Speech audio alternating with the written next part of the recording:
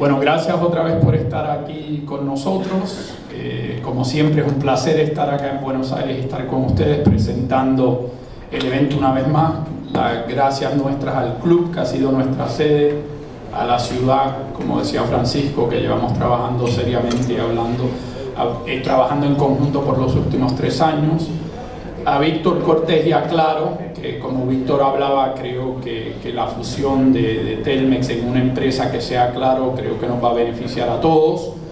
Eh, y la verdad, este, muy contento y excitado por el evento del 2011, eh, por, lo que, por lo que creo que va a suceder, donde creo que vamos a tener un cuadro, el cuadro, uno de los mejores cuadros que hemos tenido y esperemos que tengamos mejor tiempo de lo que tuvimos este año. Eh, un poco, eh, tú sabes, el, del lado, solo así les comento que del lado de patrocinadores, tenemos cuatro patrocinadores nuevos al evento, eh, particularmente uno que es mundialmente en Corona, pero tenemos Pricewaterhouse, Chop, que sin ninguno de todos estos patrocinadores esto no se pudiera hacer. Este, estamos muy contentos sobre eso y que la venta corporativa de palcos, todo lo que ha sido palcos que hemos venido vendiendo hasta ahora, la verdad ha sobrepasado las expectativas que teníamos y vamos muy por encima de lo que vamos el año, de lo que llevamos el año pasado. Así que gracias otra vez y en un momento contestaremos cualquier duda o pregunta que tengan. Gracias.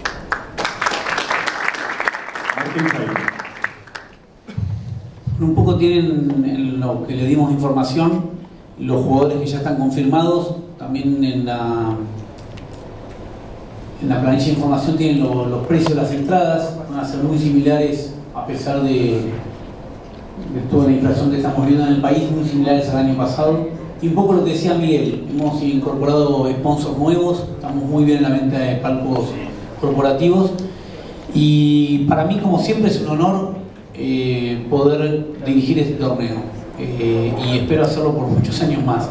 Y espero este, cada año este momento para poder presentar una nueva edición. Así que en nombre de toda la organización, muchísimas gracias.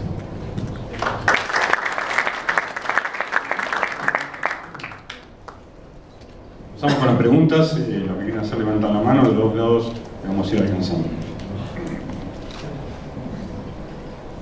Para Martín o para Miguel, no pudimos ver todavía el, listado de, los jugadores y a lo mejor ustedes pueden, pueden nombrar a, los jugadores que, vienen y si hay todavía alguna posibilidad eh, en los próximos días o mes de incorporar algún otro jugador. Sí, eh, confirmados está David Ferrer, que está número 8 del mundo eh, y que fue el subcampeón el año pasado, David Navaldian, Juan Mónaco, y Stanislav Warinka, que es la primera vez que viene a la Argentina, que está creo que 20 o 21 del mundo por el momento. Eh, sí, eh, yo diría que probablemente en las próximas dos semanas se van a confirmar par de jugadores más, que ahora mismo estamos, como decir, en negociaciones, pero creo que se van a añadir dos o tres nombres más al evento de jugadores que tienen muy buen ranking en el mundo, lo que va a hacer que creo que el cuadro que vamos a tener el 2011 va a ser el más fuerte que hemos tenido. Otra para, para Miguel. Eh, es muy anticipado quizás, pero se puede o se podría llegar a decir que esta podría ser la última edición sobre polvo. Mira, por el momento esas conversaciones siguen.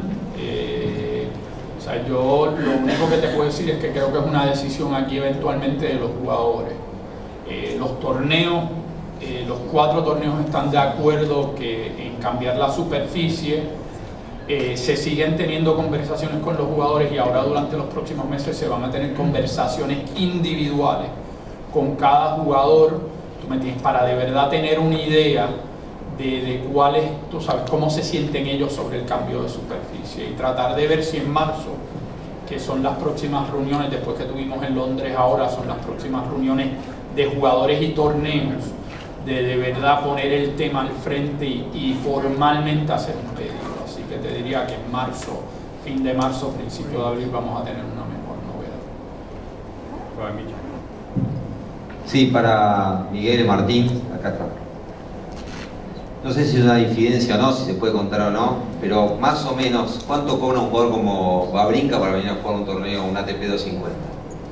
Eh, mira, depende del torneo Yo lo único que te puedo decir es que Stanislas Guarinca quiere venir a jugar en Buenos Aires.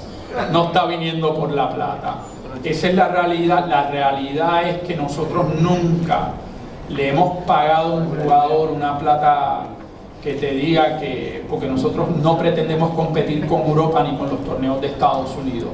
Así que lo único que te puedo decir, aunque no te puedo dar el número, creo que te quedaría poco con lo que le estamos pagando, pero que, que literalmente la realidad es que está viniendo a Buenos Aires porque quiere venir. No fue que nosotros, primero nosotros no lo fuimos a buscar a él, él nos vino a buscar a nosotros. Entonces, tú sabes, ahí cambia el esquema este, un poco. Así que eso es lo que te diría, que la realidad que... y te voy a decir, ese es el mismo caso de David Ferrer, el mismo caso de David Navalian y el mismo caso de Juan Mónaco. Eh, que lo que te diría es que estos jugadores quieren jugar acá y la plata que le estamos pagando eh, literalmente no puede comparar con la plata que le pagarían a ellos en Europa eh, ni en Estados Unidos. Y el caso de David Ferrer y que Martín estaba el año pasado, literalmente antes de que terminara el evento y hablando del tema de tierra con él, él nos, nos dijo a nosotros que él volvía a jugar este año. Y con todo y que estaba 8 del mundo, ¿no? al terminar el año muy bien, literalmente mantuvo su compromiso. Eh, recién hicieron mención, ¿cuáles son, qué porcentaje existe y que el año que viene sea TP500? Yo, yo creo que va a ser bien difícil, eh, porque no es un tema, como te digo, de torneos ni del ATP como organismo del tenis mundialmente. Hay que convencer a los jugadores que esto es lo mejor para la gira y para el futuro de estos eventos. Esa es la realidad. Y el convencer a jugadores que tienen 23 años y no están pensando en el negocio, eh, no es fácil. Eh, así que vamos a tener que hacer una labor muy buena de, de cómo, tú sabes, los podemos convencer de que esto es lo mejor para la gira. Una consulta para Irrazaba. Teniendo en cuenta que el torneo termina muy tarde, a la noche, y muchas veces cuando voy a retirar el auto, muchos vamos a retirar el auto, tenemos coches que a veces nosotros no los, no los pedimos. Eh, a lo que me refiero, ¿no es cierto? Estamos incluidos dentro de una zona roja, eh, la ciudad ha sacado las cuatro canchas que estaban en el fondo del Buenos Aires Lawn Tennis. Eh, ¿Se va a manejar de alguna manera especial? ¿Se va a tener cuidado en eso porque hay muchos chicos que también salen tarde? ¿Cómo se va a trabajar este, este próximo año?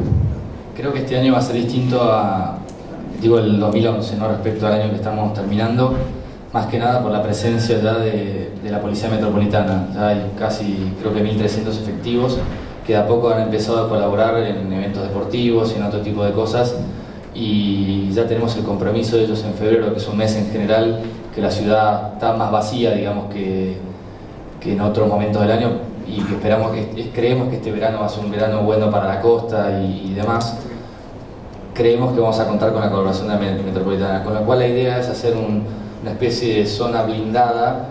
Es complejo porque todo lo que vos mencionás no están agrupados, con lo cual hay que prácticamente hablar con personalmente, individualmente y demás, pero, pero el año pasado creo que funcionó un poco mejor este año de lo que había funcionado el año anterior y este año con la metropolitana como sistema disuasorio va a funcionar mejor todavía. Como les decía, para nosotros este es un torneo que es estratégico y casi 30, y me decía Miguel, casi 30 y pico de países miran Buenos Aires a través de este torneo y es un poco lo que, lo que buscamos, con lo cual vamos a brindarle todo el apoyo que podamos para que salga lo más internacional y mejor posible.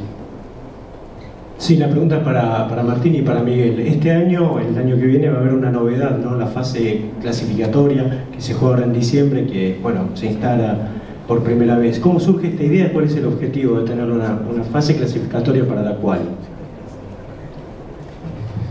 Bueno, eh, hace tiempo veníamos pensando con Miguel la, la manera de incluir a más jugadores, porque generalmente cuando se hace la etapa clasificatoria solamente entran 32 y el cierre del, del, torneo de la clasificación era, era, para jugadores digamos de 250 o 260 para abajo. Entonces dijimos de qué manera podríamos empezar a crear una copa donde aspiracional, donde toda la gente que juega al tenis, sobre todo los, los chicos más, más, jóvenes, puedan tener la expectativa de tengo la posibilidad de llegar a, la etapa digamos, de clasificación. es por eso que hemos creado, y la vamos a empezar a jugar a partir del 13 de diciembre, o sea, el próximo lunes en el Parque Roca, eh, una pre-quali. Esa pre-quali, eh, el ganador de esa preclasificación va a tener un lugar en la clasificación que se juega el, 12 de febrero, y aparte de eso también forma parte del circuito argentino profesional, o sea, va a haber unos premios para los jugadores. Eh, nuestra idea es que ese torneo vaya creciendo, que el día de mañana, si este año sale bien, inclusive puedan participar algunos amateurs. Digamos, pueda participar gente que no es profesional y que pueda clasificar para esa preclasificación. Eh, entonces es un año para nosotros experimental.